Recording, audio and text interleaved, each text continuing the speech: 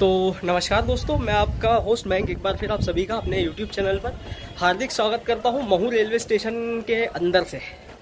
अभी फ़िलहाल मैं मौजूद हूँ महू रेलवे स्टेशन जो कि अब जाना जाता है doctor Ambedkar Nagar railway station के नाम से। अभी मैं आपको अपडेट देना आया हूँ, यहाँ पर अंदर क्या क्या काम हो रहे हैं उसकी।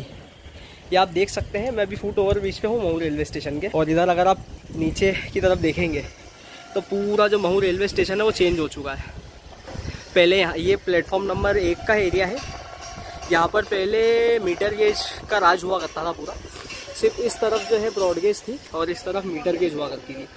आ, पहले तो खैर पूरा ही मीटर गेज स्टेशन था लेकिन अब जाकर के आप देख सकते हैं इधर पूरा ब्रॉड गेज का राज हो गया ये आप देख सकते हैं दोस्तों यहाँ पर जो है पहले मीटर गेज का जो स्टेशन था वो भी हटा दिया है पूरा।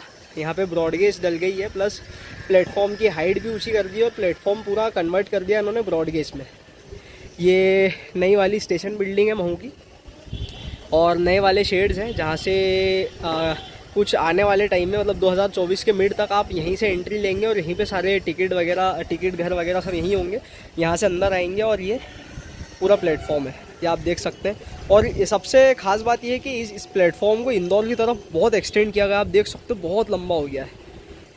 मैं आपको इधर से अभी महू वाला हिस्सा भी दिखा देता हूँ। यहाँ पे महू प्रयागराज एक्सप्रेस ट्रेन खड़ी हुई है। बीच में एक लूप लाइन भी डाल दी है। इस तरफ़ प्लेटफॉर्म नंबर दो और तीन है।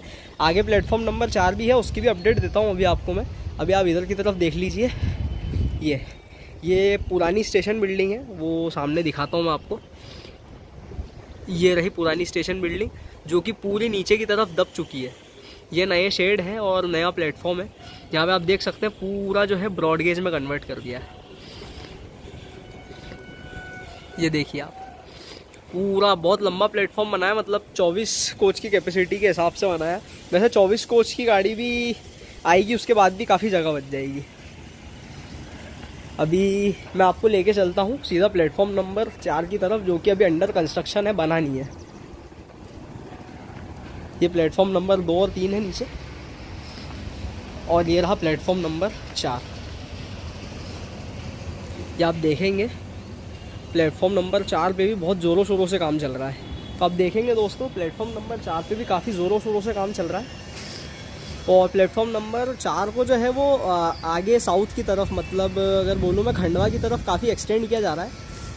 उस तरफ़ का, इसकी लंबाई बढ़ाई जा रही है। अभी देखता हूँ, अगर मैं आपको नीचे जाके दिखा पाऊँगा तो मैं आपको वो भी शूट करके बताता हूँ। अभी वैसे थोड़ा समय लगेगा, लेकिन पहले से बहुत प्रोग्रेस है। पहले जब मैंने आपको, आज से लगभग एक दो साल पहले वीडियो बना के दिखाई थी, तब ना यहाँ पे प्लेटफॉर्म पूरा कंप्लीट था, ना ही शेड वगैरह डले हुए थे। अभी तो शेड वगैरह सब कुछ यहाँ पे डल के कंप्लीट हो चुके हैं। इधर आप ये देख सकते हैं, ये एफ़ भी जो है एक्सटेंड कर दिया है। ये एफओबी पहले नहीं हुआ करता था, अभी पूरा एक्सटेंशन दे दिया है इसको भी। और उधर खैर जा तो नहीं पाऊँगा मैं, लेकिन आपको दिखा सकता हूँ। खैर यहाँ से हाँ जा तो नहीं पाएँगे यहाँ से, लेकिन अभी आपको यहाँ से दिखा देता हूँ। आप सामने की तरफ़ देखेंगे तो यहाँ पे दो ट्रैक्स आपको डले हुए दिखाई देंगे और उस तरफ़ आपको इंदौर एंड दिखाई देगा प्लेटफॉर्म का। और अगर आप आगे की तरफ़ देखेंगे इस तरफ़ तो आपको अर्थवर्क भी दिखेगा, जिसमें मतलब यहाँ पर जो है यार्ड बहुत बड़ा बनाया जा रहा है अभी मऊ का। तो यहाँ पे लगभग चार या पाँच ट्रैक जो है आएँगे अभी फ्यूचर में। तो ऐसा ही कुछ अभी अपडेट है महू का। मतलब काफ़ी ज़ोरों शोरों से काम चल रहे हैं और आई होप के 2024 के एंड तक या 2025 तक मतलब 2024 में एंड तक तो ये लगभग लगभग पूरा कंप्लीट होता हुआ नज़र आएगा। और 2024 में जो है ब्रॉडगेज का भी काम चालू होने का अनुमान लग रहा है। तो अगर वो भी होता है तो उसकी भी अपडेट मैं आपको ज़रूर से दूँगा। तो इस वीडियो को अंत तक देखने के लिए आप सभी का धन्यवाद दोस्तों। आपसे जल्द मिलता हूँ एक नए वीडियो के साथ। तब तक का आप सबका धन्यवाद। जय हिंद, जय भारत।